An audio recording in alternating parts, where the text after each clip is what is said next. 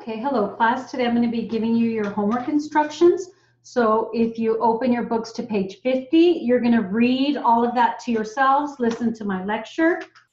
Um, and then page 51, 11-3, you're going to write three times perfect each sentence. So we have the notes on page 51 and 52.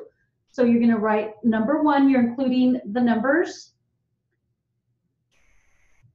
no, you're not. Sorry, you're not. You're not. So you've got will the quiz be hard question mark. Okay, so let's check it. Will the quiz be hard question mark? And so I didn't stroke it right, so one more time. Will the quiz be hard question mark? Okay, so let's do it again because you have to write it how many times perfect? Three. So let's do it one more time. Uh, will the quiz be hard? Question mark. Okay, and then one more time.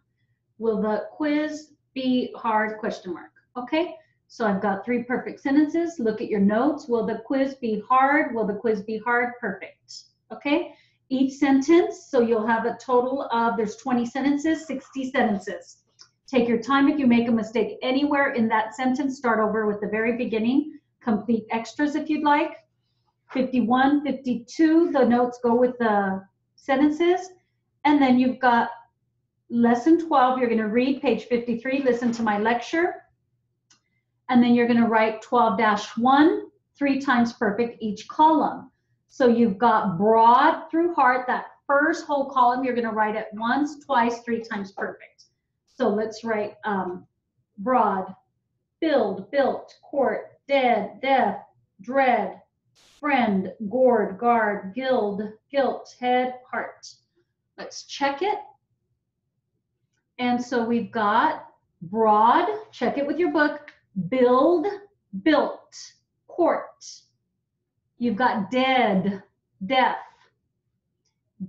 dread, friend, gourd.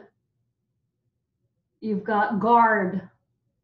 You've got guild, guilt, head, and heart. Perfect. So you're going to do two more so that you ultimately have three perfect columns.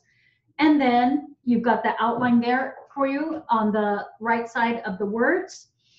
Okay, you've got the outlines there so you know how to stroke it. And then leapt through young, you're going to write it three times perfect.